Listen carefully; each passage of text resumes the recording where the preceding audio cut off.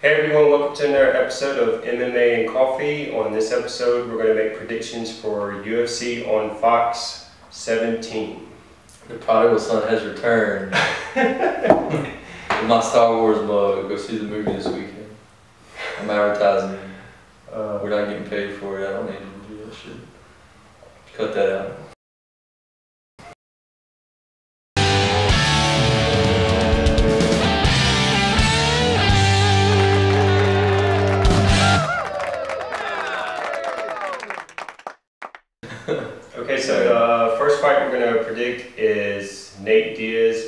Michael Johnson. How do you see it going? You want the short version or the long version? Uh, short version. The short version, I think he's gonna get wrestle fucked. He, he being Diaz, and I think he's gonna lose. That's what I think. That's what I see too. Actually, um, Wait, am I not supposed to drop f bombs? yeah, we'll just include it. or beep. Um, I actually see the fight similar. Make it a cow move. That's funny. Um, I actually see the fight going similar. Uh, one reason why is because Nate hasn't fought in a long time. He's kind of looked like he's in decline too a little bit. Like he hadn't looked so hot his last few fights. Between really between that and uh, anytime he's taken time off and came back, he hasn't looked good. Yeah, his, his first fight back is usually pretty rough. I mean, he did that Yeah. against Dos Anjos and he got destroyed. Yeah. And uh, I give it to Michael Johnson. Um, How do you think it's going to be a decision? I, I kind of feel like he can't finish him because he's, he's pretty durable. He has been finished recently, but that was a head kick. So right, so that's a respectable way to get finished. so uh, I think it'll probably be decision. Yeah. Maybe 29. He might he might still round. It, it, I could see 30 27 or 29 28. I, I tell you what, the only way It'll be unanimous. I doubt it's split. The only way Nate Diaz wins this fight is if he stays on the outside and keeps him on the feet and he outboxes. Yeah, if he if he can stop the takedown, it gets interesting. That's that would yeah I agree. Yeah, so if, if he actually, if Michael Johnson fights him stupid and just stays on the feet, I could see Nate Diaz outboxing him. Will he do that? I don't think so. I think he's And just even gonna take him then, down. Johnson's a risk for like knocking him out because he's got some pretty good power. It's not like it's not like he's known for it, but he does he does have it. So That and he mixes it up. yeah, He's, yeah. so It, it would be interesting on the feet, but uh, yeah, Diaz would have to be favored. and, and, But chances are he's gonna get taken down. and you know, going in this fight, Diaz is just gonna want to box with him. right? So The only the another way he could potentially win is if since you know the Diaz is flip you off and talk trash in the fight. If he gets him to, if he gets Johnson to start fighting stupid, he pisses him off. That might work. yeah, So he did, he, I mean, he did that to Cowboy. right. So, So he's had success in the past. mhm. I don't. Johnson doesn't strike me as kind of. He's not a hothead like Cowboy is. No. So that's about it. Yeah, that's it. Okay, so the next fight is Junior Dos Santos against Alistair Overeem. Pretty biased. I'm, I'm, I, like I'm, I know we're trying to be like analytical and stuff, but I'm a really big Junior Dos Santos fan. But outside of that, uh, Overeem's been pretty chinny in his whole career. You're going up against a guy with knockout power like Junior's got. Common, I think the the safe bet, or probably most people think he's probably gonna knock Overeem out. The only thing is, uh, Junior hadn't fought too much lately. His last fight didn't look good, so I'm not sure what Junior's gonna show up. Is he gonna look all right? Because if it's the way he fought against Stipe, I could see Overeem maybe still in a decision. Yeah, in my opinion, I think this uh, this fight should happen a couple years ago. Yeah, it was scheduled for like When- what three years ago. Yeah, it's, this fight should have already happened. So, with that said, I don't see it being much different. Uh, I think Assu- assuming they're the same, assuming that Junior's the same and they show up the same. Yeah, I, I assume that uh, Junior has the potential to knock him out. In my opinion, um, Overeem could knock him out though. That's always the thing. I know like Junior's got a crazy chin, but Overeem does have a lot of power. If Alistair Overeem's smart, the way for him to beat Santos is in the clinch with his knees. Yeah, I think that's that's definitely That of would be- biggest advantages. that would be his way. Um, do I see him taking Junior down? I, I don't. If he did, I, I see him popping right back up. So I don't think that's the way to win. But his kicks and knees could potentially hurt Junior or slow him down at least and make the fight interesting. I Yeah. mean, if if Overeem fought smart and safe, like he did against Big Country, like he get, did against uh, Frank Mir, he could steal the decision. It would be a boring fight, but he could do it. Whereas uh, I think Junior, And it's only a three round fight, so that's in Overeem's favor, really. Five round fights in Junior's favor. But that's a good point. With the body shots and stuff, he could potentially wear Junior down if he could land some good ones.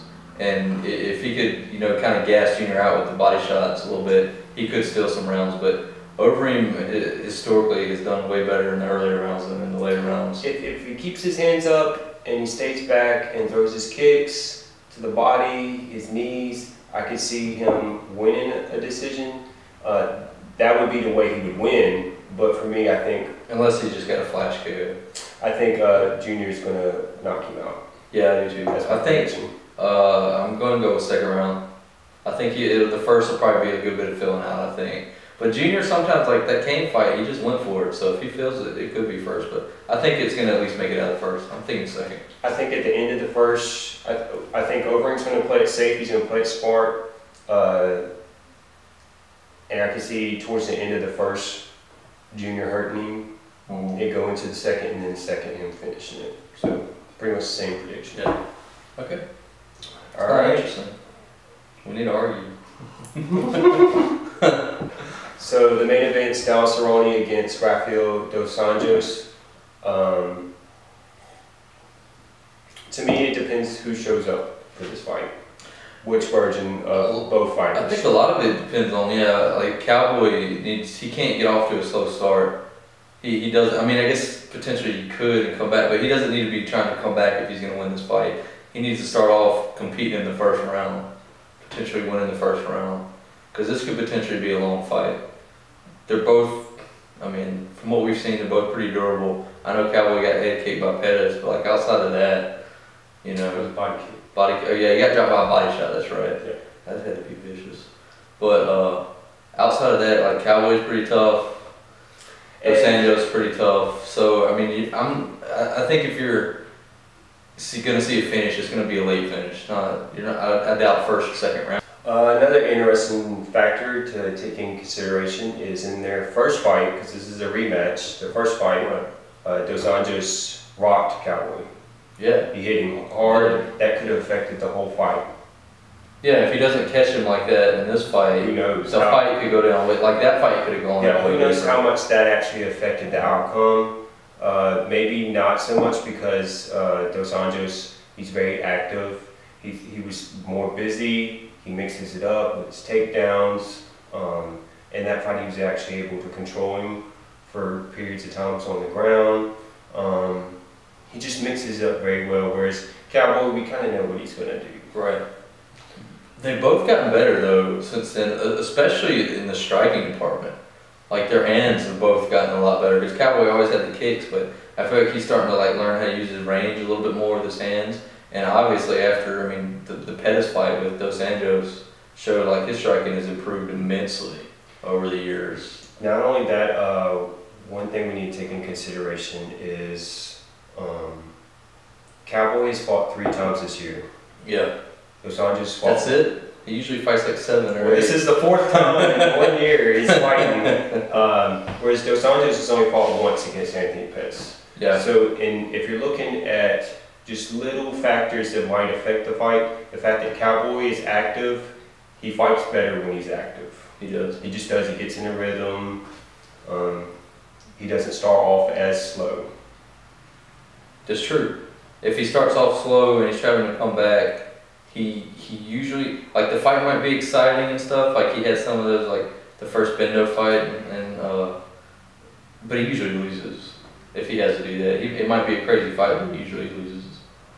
So he definitely needs to start strong. That's like the biggest thing. And Dos Anjos, I think it, there's less of a less of a question on him. I feel like he's gonna show up probably looking just as good as he did against Pettis. So, this is. I mean, I feel like he's got to be motivated for this fight, Oh, right? oh, you know, you know it's his first He's, title he's a hard worker, Yeah. and uh, this might be a little controversy okay. what I'm about to say, but I think Bring the ratings.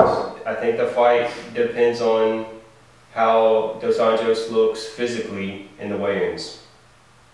If Yeah, he has some pretty rough weight cuts, doesn't he?